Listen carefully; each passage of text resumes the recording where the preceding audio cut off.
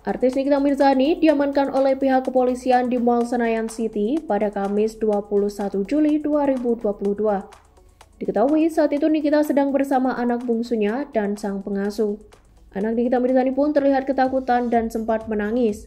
Sang anak sempat memegang tangan Nikita Mirzani sebelum ibunya dibawa pergi aparat menggunakan mobil Innova hitam menuju Polresta Serang Kota. Alhasil, anak Nikita Mirzani dan pengasuhnya turut dibawa polisi ke Mapolresta Serang Kota dengan pendampingan dari Polwan.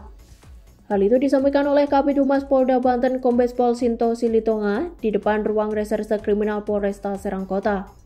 Diberitakan sebelumnya, Nikita Mirzani dijemput paksa oleh tim Reskrim Polresta Serang Kota di lobi utama Mall Senayan City, Jakarta Selatan, sekira pukul 14.50 waktu Indonesia Barat.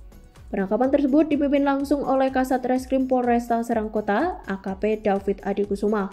Dalam penangkapan itu, pihak kepolisian membawa tiga orang personel Polwan agar penangkapan bisa dilakukan secara persuasif.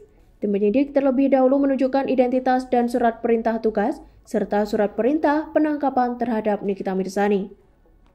Terima kasih sudah nonton. Jangan lupa like, subscribe, dan share ya.